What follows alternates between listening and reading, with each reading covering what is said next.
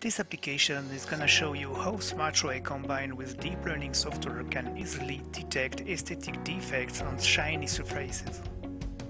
First steps, ECCO sensor is scanning the 3D images and send them to the PC.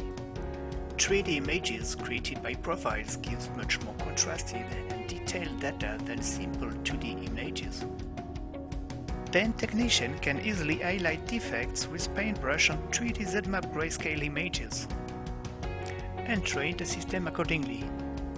For this test application, only 7 images were enough to train the neural network.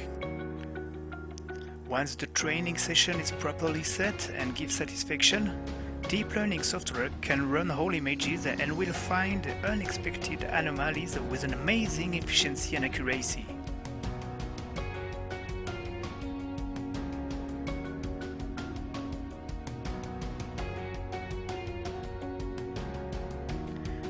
Thanks to the best image quality that SmartRay sensor can feed to the system, a spot of 2 pixels only can be detected.